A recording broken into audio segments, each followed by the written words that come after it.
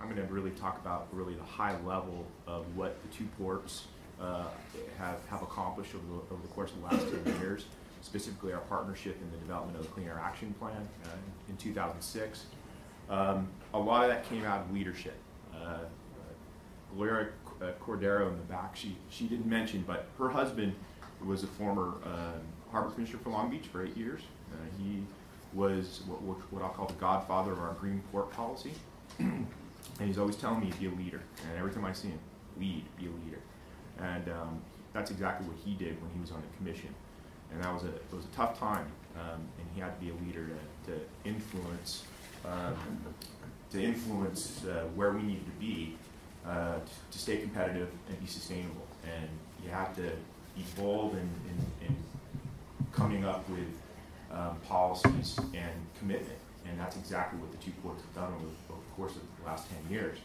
And part of that commitment also is, is finding innovation, being innovative and being uh, thinking about the future. And I, uh, Rose, uh, who's part of my team, uh, works uh, collaboratively on our technology advancement program, very successful program. And what I like about PortTech is that it's, it is an incubator. It's a starting point. It, it does help facilitate um, a lot of um, opportunities. And then once those opportunities are formed and are ready for demonstration, that's where we have that opportunity at the ports through our technology advancement program. So I just wanted to highlight that again and, and thank uh, John and Stan and, and Ann for, for inviting me to speak here. Um, I think Stan did a good job. He covered this. We're the number two port we're okay being number two. All right? And I'm not going to comment about this joint port thing. My, my talking points uh, uh, that I've just been uh, received from our communication director, which is no comment. There's been some stuff in the paper. I'll let the leaders uh, handle that one. Um, but we are the number two port uh, in the nation in terms of overall containers. We do more than containers, and I think what John was just describing in terms of just the vessel mix is, is very important and it is important to understand uh, who our customers are and, and what they do and what their future business is going to look like. Um, and, uh, you know, there's been a lot of talk about the Panama Canal and the effects of Panama Canal, what that's going to do. Um, you know, I, I, I, have to tell you, the Panama Canal is whatever it's, it has, whatever it was going to do, it's already happened. Um, you know, what we need to do here in San Pedro Bay is, is think about our future uh, and, being competitive. And, that's a lot what the two ports are doing right now in terms of investing. Uh, Port of Long Beach is investing over $4 billion in the next uh, uh, six, seven years um, just in infrastructure, a new bridge. Uh, we're, we're, building that new Gerald Desmond Bridge, which is a vital asset to this nation in connecting both ports and moving cargo. Um, as well as our marine terminal operations, dredging, uh, you know, we're providing the infrastructure of the future so we can handle the, the new vessels, cleaner vessels that we're calling, or will be calling. Uh, huge job, creative, uh, nationwide. Uh, there's a there's actually a map that we use when we go to D.C. to explain to you know the, the congressman from you know um, Wichita uh, why why ports are important, why the Port of Long Beach and, and Los Angeles are important because it creates jobs in his neighborhood as well, and what he should be thinking about what's important when it comes to uh, uh, ports and goods movement and freight. And there's a big discussion happening right now at the national level, at the state level, as it relates to freight. And it's important and because uh, this is all part of uh, transportation money.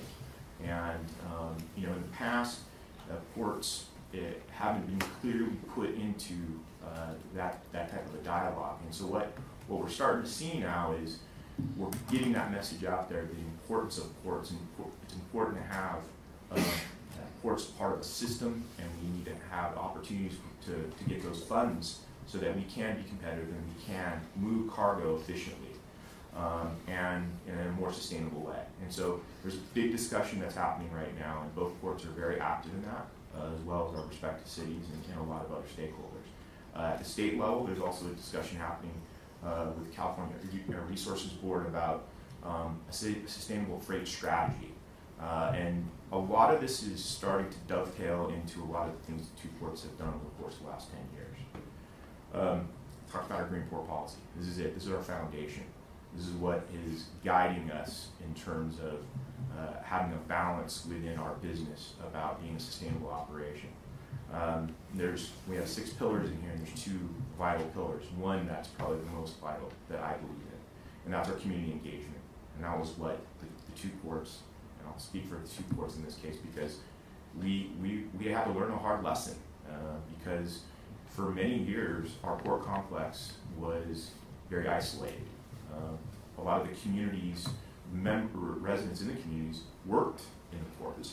But as the port started to transform into not being, in being what it is today in terms of containers, uh, as well as the, the, growth of the imports from, from Asia, uh, these two ports were in a reactive mode. And so, you know, we were focused on how we're going to accommodate that cargo that's coming in for this nation and ignoring those impacts on our communities. And so that really is what drove uh, our port, as well as the Port of Los Angeles, to really develop uh, in, in, 2005, uh, the, the, dialogue started, the development of our Clean Air Action Plan. Uh, we've had an update in, 20, in 2010. Uh, the first version of the Clean Air Action Plan focused on near term. And one of the first priorities that we all decided at that time was we needed to get at the trucks because the trucks were uh, going through the neighborhoods and had the most impacts when it came to health. And so I think we've been very successful with our partners uh, and, and in transforming uh, a, a, truck fleet in a matter of four years, in fact, three years. And a lot of that was, was done by industry. Um, the ports established the foundation. Uh, we, we provided the guidance. Uh, we set the bar. Um, we're not a regulatory agency. We don't, we don't set standards. Um, but what we do is we developed a program and used some mechanisms that we had to, to be able to get to changing out our, our truck fleet. Um, it's a very dynamic um, truck program. Um, we know exactly, both ports know exactly what truck, when it's entering a gate, when it's leaving a gate, how many times it calls on the 24. I could, I could send an email right now and get a list of all the activity from yesterday. And that's important, and that's a, data set that helps guide us with, with a lot of our programs. Uh, we have about a thousand um, uh, LNG trucks that are uh, LNG, CNG, uh, alternative fuel uh, trucks that are part of the fleet. Once again, that's that's vital when it comes to another uh, reduction in diesel particulate matter, um, and that's exactly why that program, as well as some other programs I want to talk about, um, have have gotten us to these numbers. One of the things that uh, has been important for the ports uh, when we first launched Clean Air Action Plan is we had to develop a baseline. Our baseline is 2005. We need to have that metric. We need to be able to grade ourselves and understand as we move forward with uh, these programs and implementing them, where are we, where should our priorities be? Um, are these programs getting the emission reductions that we have predicted uh, in, in, the estimates? And or do we need to make, make some modifications and or reprioritize where our dollars should be going uh, to continue to make the progress we've made? Um, these numbers are very consistent with Port of Los Angeles. I don't know if Carter's got any numbers, but both ports are fundamentally in the, in the same range in terms of emission reductions. Um, many of the programs we have, uh, we definitely work together. Some are very joint. Um, some we do independently. Um, for instance, our, our, we have a green ship incentive program. Um, we work together with the goals and, and the objectives, but we just have different frameworks. But at the end of the day, it's the same objectives, which is get the cleanest and greenest ships in here in its incentive program. One of the key things, and I was just given a, a discussion, uh, presentation in, in, Baltimore. I was invited to uh, uh, participate in, a, an EPA summit, a Ports Initiative Summit. Uh, headquarters in EPA in DC is starting to launch and rethink um, ports and, and, and from a clean air strategy standpoint. Um, it's not the first time they've done it. Um, but it was an interesting because there was a lot of stakeholders, and I was able to provide our success story. We're an outlier. We're an outlier when it comes to the impacts, the activity we do, and our success for, for our programs. A lot of the other ports don't need to do what we, we're doing, or at the level we're doing, or how we do it. And so that's something that I think is important for our industry, and that we don't have a regulatory body who wants to do one size fits all. One of the things that's, that's key in our Clean Air Action Plan is is that we have strategies in there, and then we have a variety of implementation mechanisms. Clean Trucks program, we used our tariff. It was kind of a command and control type of, a, of, a, of an implementation strategy. We have a variety of incentive programs, voluntary incentive programs. Um, and others, um, you know, we use, we use different implementation mechanisms. So it's, it's important, that was my message to a lot of the stakeholders and EPA and some of the other uh, NGOs that are popping up around uh, and have, um, have concerns at other ports in the nation. Um, and so it's important that, you know, once again, I think we've been successful, we're a model, and uh, what I don't want to do is have, you know, Big Brother and DC try to play around with us a little bit because, you know, they need to redefine the role. Um, collaboration, I think it's critical. Uh, what's made us successful in, in, in the results of the, the, emission reductions that we've seen. Um, we have a partner. We have partners in the, in the regulatory agencies. US EPA is a partner here at Region 9. They have been from day one uh, when it came to our development of our Clean Air Action Plan. Uh, California Air Resources Board, as well as the uh, South Coast Air Quality Management District. Um, they are um, a, a, a, very vital. They have a role, distinct role, uh, when it comes to the Clean Air Act and, and what their duties are. And a lot of what we've developed in our Clean Air Action plans and our forecasting is lining up for attainment. We have a severe non-attainment here when it comes to air quality meeting uh, federal standards. And uh, we've lined up where we need to be and, and from our sources reports, and, and, that gets rolled up the state and eventually uh, lining up where the statements needs to be for meeting came in the future. Um, so it's very quantitative uh, in terms of what we do, how we monitor, and how it's linked into what works are here. We're part of a system, we're part of a region, and uh, that's a lot of, of what, why it's important. And educating and, and is another critical piece when it comes to our success. Educating the community and a lot of our stakeholders about what we can do and when we can do it, or what we need. And I think a lot of you in this room, we need that innovation. We need people to be able to find solutions in a cost-effective way and get things on the market so that we have um, options, our customers have options to meeting uh, our goals. Talked about our Clean Trucks program, very successful. There's a lot of information on that. Um, we have the vessel uh, speed reduction program has been very successful. In fact, this is probably uh, predates the Clean Air Action Plan. Uh, both ports um, have a version of this. I believe yours is tied into your, your green ship. Right? That's separate. So, oh, it is, okay. Um, anyways, both ports have, we, we have individual programs. Uh, we incentivize uh, vessels to slow down as they're approaching uh, the, the, port complex. And we have a 20 mile and a 40 nautical mile incentive uh, rebate, not a rebate, but to get a, a, reduction. We call it certain terms we can't use because our lawyer will get, get upset. Um, there's, there's some lawyers in here, right? I gotta be careful. Um, our green ship program. Um, yeah, John did a good job talking about ships. Um, we've been very fortunate. Uh, this is one of the, the largest contributors when it comes to air emissions. When we have a pie chart, it's, it's about 50, 55% of total emissions now, and in the future we project it, and that's from all vessels, container plus the non-container.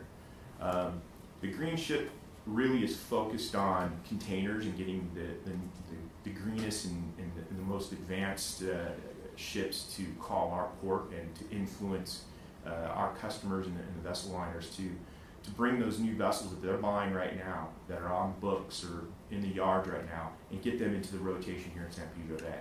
Um, it's a long-term program. Um, you know, be honest with you, I don't think our incentive is going to overly influence them. There's a lot of other decisions that are that are made when uh, vessel liners uh, move ships into rotations into into services. Um, but we do believe, though, it will help, uh, and you know, over time we may have to make some adjustments. We're fortunate also that we have international standards. There was what's called the IMO uh, Annex 6 that was was put in place at an international level. Before that was in place, two ports really had a struggle and we had a challenge. How are we going to address uh, cleaning up the vessels that call our ports? Uh, and there's a legacy fleet, and there's going to be new, just like you have new cars and everything else, and things change over time. There's a legacy fleet. These are assets that, you know, these customers are not just going to go and, and trade in. They don't have that type of ability in the market, and they have to get a rate of return on their investment. And so, we're fortunate that at international level, that we're going to see cleaner and newer ships with standards internationally. And there's what's also came out, it's called the Emission Control Area, the ECA. Um, and that helps with our port complex be competitive because it allows us to have a fair playing field. Uh, so other ports who don't maybe have a cleaner action plan, um, they're also going to have those clean ships, and it's not going to be one port pitted against another port in terms of having different standards when it comes to international vessels. So this is very key for our for our um, success uh, moving forward in our business and being sustainable because we won't be the only port that's requiring ships to be clean. Um, so that also helps industry, helps industry probably uh, progress in a, in a, much sooner uh, way than they otherwise would. Uh, cold ironing is another one of our strategies. This is a state requirement now, but this was one of the original strategies that came out of the Clean Air Action Plan before it was a requirement. And both ports were very successful in working with CARB to develop what we feel is a meaningful regulation. Uh, our vessels, our customers don't really like it, um, but it's critical uh, because it gets at capturing emissions from auxiliary engines while vessels are at berth. Now, it's only for container, and it's a, it's a phased-in approach. But we also, you know, through our technology advancement program, we also want to have the ability to have alternatives, cost-effective alternatives. Um, we also want to have the ability to figure out how we can maybe capture the unregulated vessels out there and get more emission reductions. Uh, cold ironing is not cost effective for vessels that only call maybe once every two years here, and that's like the bulk, the transit, these these charter vessels that you know um, are the non-container, and uh, you know they, they may call twice a year uh, at the port complex, or we may not see them for three years, um, and so when they do come, we want to be able to have an alternative to capture those emissions while they're here in a cost-effective way. And so we are in the process of working and partnering with our Quality Management District as well as uh, with, uh, with ACTI, who's the vendor who's, who's developed uh, the, the quote-unquote sock in the stack. They don't have a sock anymore. It's a direct connect system. But they've been successful on a phase one demonstration at our Pier G dry bulk facility. Um, and they're going through a process with CARB to get verification. And what we're doing is doing a phase two uh, barge mounted unit, uh, taking the unit off the dock and putting it on a barge demonstrate that on container terminal, uh, container vessels. Uh, so this is something we're, we're, we're very, very promising. It's been a lot of commitment and, and a lot of time that's been spent on this. But this is important. It's important because we need flexibility and, and we need to have these, these, these type of options. And this is, this is once again, this kind of goes back into, you know, there's a concept, and this is a concept that was started over 10 years ago. And uh, ACTI is, is committed to this, and they put a lot of resources into it. And they've had to go through a process.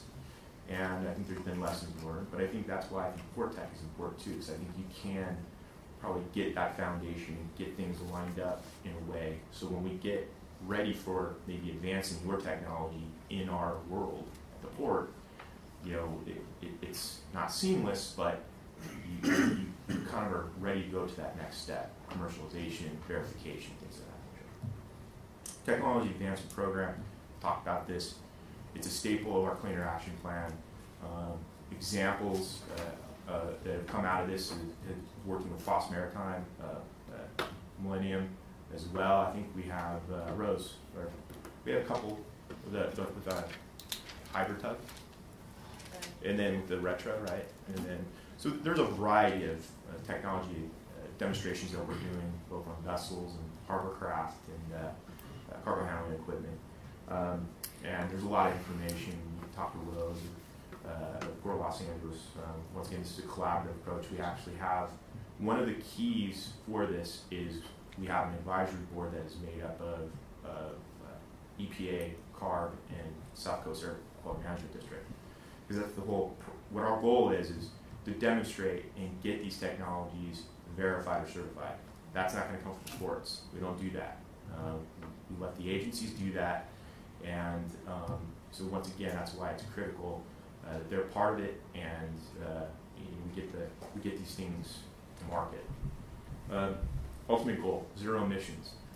Um, this is goes back to my point about attainment. Um, we need to we're we're in, in, in, a, in a different world than other regions because of air quality, because of where we are, where the winds blow, uh, the magnitude of the urban center that we are. Um, and this region is going to need to get to near zero emissions when it comes to moving freight, uh, when it comes to doing a lot of things. Uh, and, and, so that's kind of goes back into what the two ports have developed in, in, in a roadmap for zero emissions uh, for some of our sources, trucks, uh, rail, harbor craft, I mean, uh, cargo handling equipment. Um, and we've been successful in also uh, two ports uh, demonstrating electric trucks. Balqon is one that Port of Los Angeles has been very committed to. Um, and one of the things about demonstrations, and this is what I have to remind uh, my Board of Harbor Commissioners, when we present to them these opportunities, uh, a lot of times we're making a predict, prediction about the success, the emission reductions, but I have to remind them we're demonstrating. Um, we're trying to collect information, and there may be things we to modify and test again. Um, and the results may be it's not very successful and it's not going to meet the mark. And so our commitment and our, our money we're investing is to do that. It's not to get some return on that investment per se. The return on the investment is we're progressing the technology for our, our future. Energy, uh, this is another big thing. There's a lot of little, little big topics popping up, but energy for us, because of where we're headed with a lot of our strategies uh, for, for our environmental sustainability goals, is being dependent upon the electrical grid and also uh, for other systems. And so, because of things like San Onofre going down, for instance, um, it begs the question: Is that energy going to be available future for our future needs to keep this port running? Resiliency from a from a safety and and uh, from uh, you know the opportunity if there is a power outage, or if there's a severe storm, uh, the experience that New York, New Jersey had in, in uh, Superstorm Sandy several years ago shut down the port for two weeks, and a lot of the problem was is they couldn't get had they had no energy, uh, they had no electricity, they couldn't move any cargo, um, they couldn't get gas to get the workers to to the port, uh, and uh, you even get gas to the generators to even do small amounts of, of activity. So what, what the two ports have launched is, is uh, moving forward with an energy policy and moving forward with energy uh, uh, planning and lining that up for our future, for our future, so that we have cost-effective, uh, from an environmental renewable side of it, from a cost-effective for our terminal operators, because now we're requiring the ships to plug in. So how do we find uh, some cost savings somewhere else in their operation because they're going to have to pay a premium for that electricity at the dock, as well as the resiliency and the, and the reliability side of it. So there's there's many of you in the room here that um, probably have a lot of great ideas, and and uh, you know that's really going to be lining up for our success and our sustainability in the future. Um, I've uh, you know where I see things going right now for us is um, I think we have a great foundation. Know, a lot of the discussion that we're starting to see now is ports being part of the system. Uh, and we can't be looked at as in isolation. I think we've done a great job in terms of reducing from sources, and now we have to talk about efficiencies in our systems and infrastructure. And that's going to help us when it comes to being more sustainable and having healthier communities around our ports and keeping us competitive, frankly. So with that, I want to thank you and uh, turn it over.